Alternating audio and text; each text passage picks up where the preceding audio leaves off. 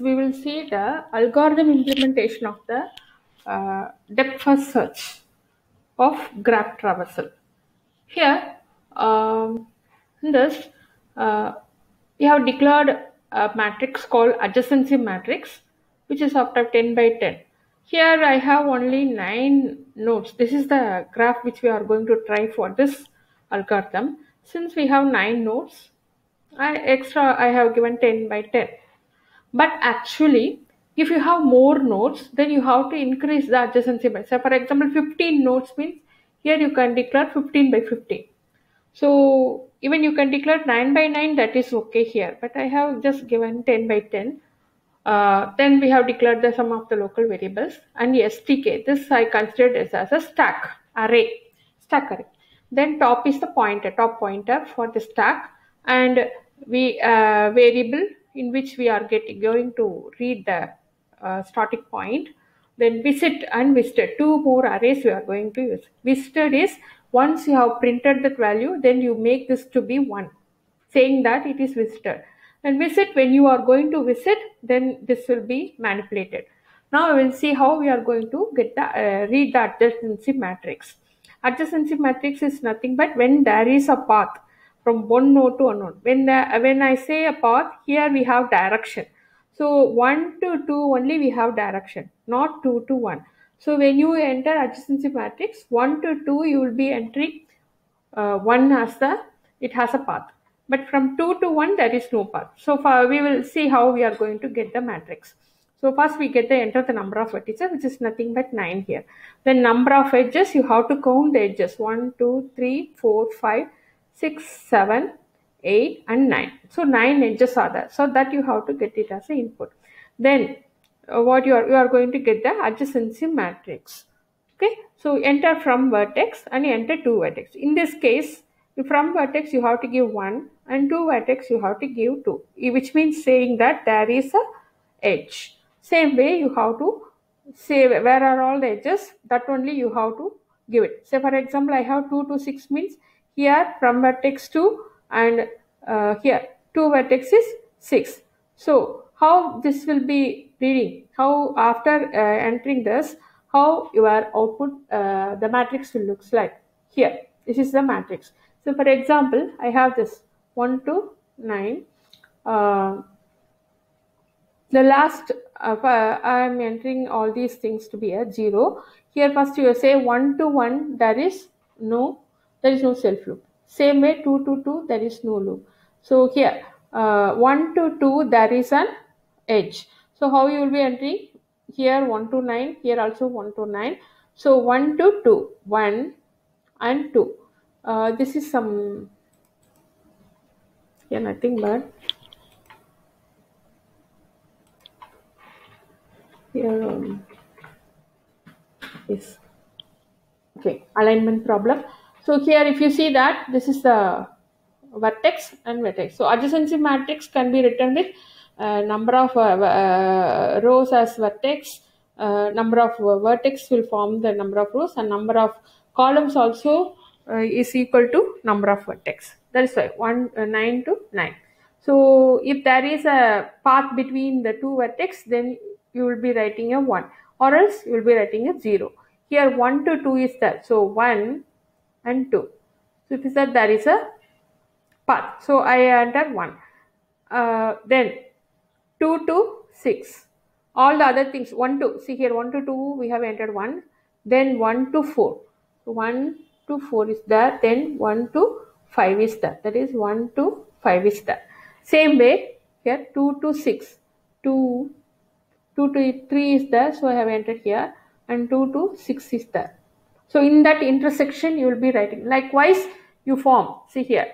4 4 means uh, there is uh, no uh, uh, nodes arising from 3 as well as 6 so 3 i have entered all 0 if you don't enter automatically it will enter the 0 so that is what the algorithm do. So here it will put only uh, uh, wherever the data is there there only it will put the 1 you will get only the number of edges as the input. So according to our algorithm. See here m. So number of edges. So it runs nine times. Because we have counted nine edges. So in those places only it will enter the as one. So here 4 4 after 4 you have 4 to 7 is there. So 4 to 7 we have entered. Then 5 5 to 7 see here 5 to 7 is that then 6 6 there is no um, edges coming out of that. There is no out degree. And this we consider only the out degree. Then 7 here. Uh, 7 to 8 is there. Then 8 to 9 is there. And 9 that is no self loop so 9 to 9 that is the thing. So this is the adjacency matrix. So once you run this uh, this coding your adjacency matrix will be like this. So based on that only we are going to evaluate the algorithm. So we'll see here enter the initial vertex to traverse from. That is what this is the output i have pasted enter initial vertex traverse from. So i am starting from 1 which is nothing but this. Let me copy this also here so that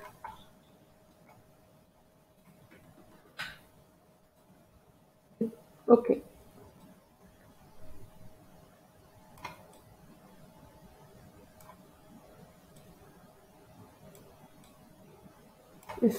this is adjacency matrix this is the graph for this. Now enter the initial matrix. This is the output i have pasted. Enter the initial vertex to traverse so we are going to start from 1 then uh, so that we are getting it in b. Dfs order of visited vertices that is printed. Then we first print the 1 the first uh, source.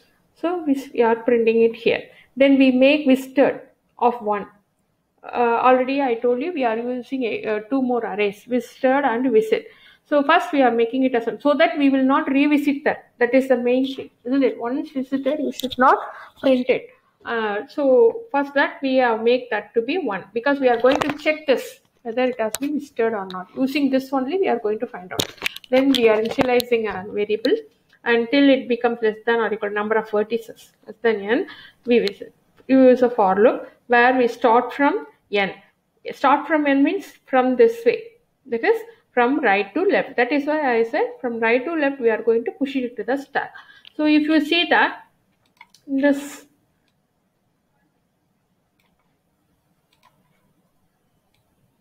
so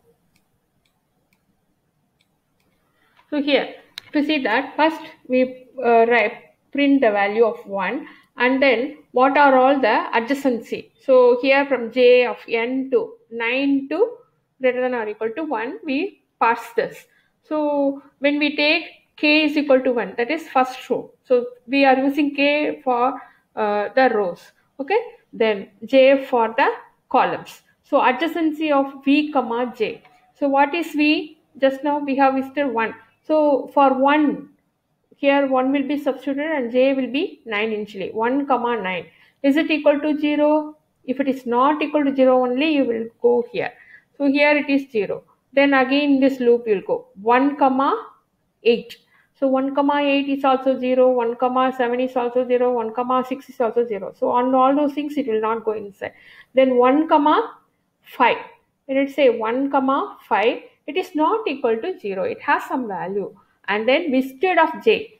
5 is not visited it is not equal to 1 initially we made them to be 0 so it is not equal to set it is not set uh, it is not equal to 1 so uh, initially 0 so it is equal to 0 only. Then visit of that is also 0 so if it set 1 means it is we have visited and it should not be printed. Okay? So it should not be again pushed into the stack hop and printed since it is already it is not visited here it will give 0 visited of uh, 5 will be 0 and visited of j also will be 0 so it go inside this if class.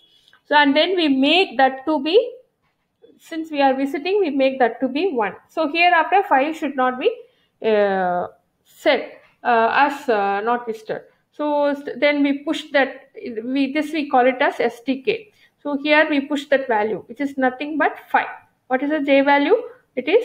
5 so that we are pushing. So we are moving from uh, right to left. Then top plus. Now top is here. And then what again? It go inside and so on. So here the next one is 4 so 1 comma 4 it is not equal to 0. So this will be made. And again here 4 will be made equal to 1 and then top equal to j which is nothing but 4. 4 is push into the stack and then when it comes to 2 again we push into the 2 we push into the stack. Then what we will do the for loop will be over here we come we pop the topmost element which is nothing but 2. So already we have printed 1 then this will be print top popped and we assign it to v. Now v becomes 2 so that we are printing. So we are printing and then k plus plus. k is already 1 since one row is over.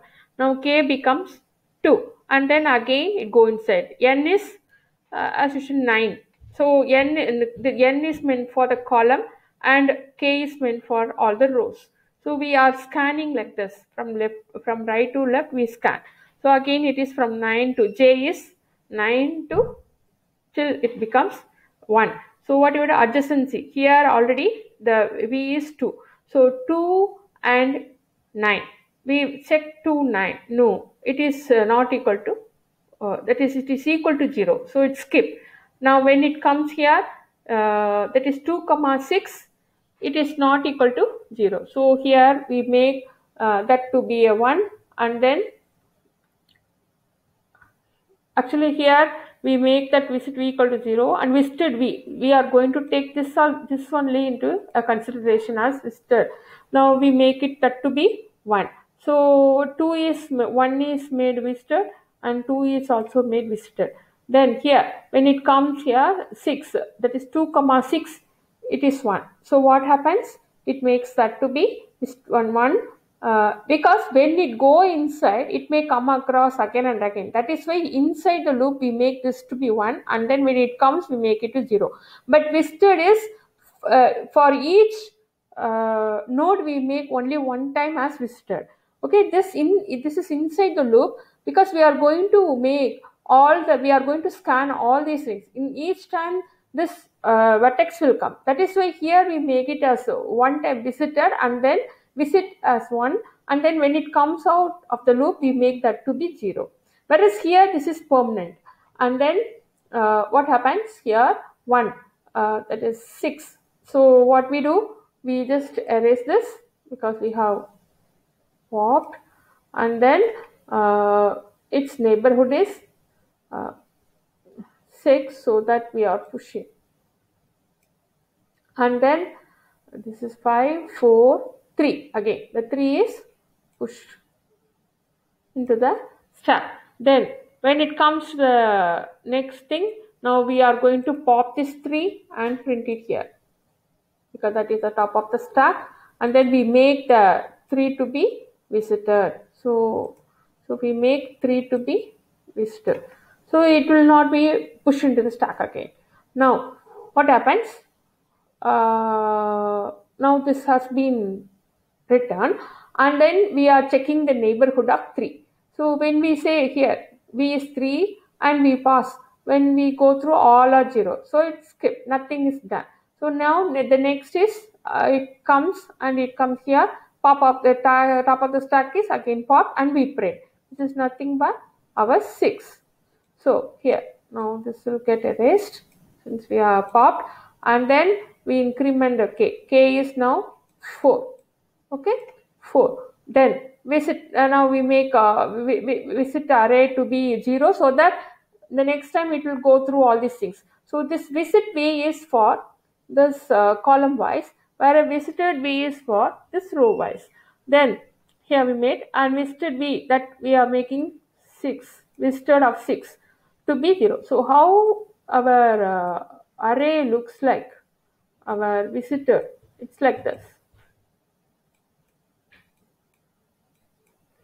So if we say this to be 1, so this to be 1, 2, 3, 4, 5 and 6.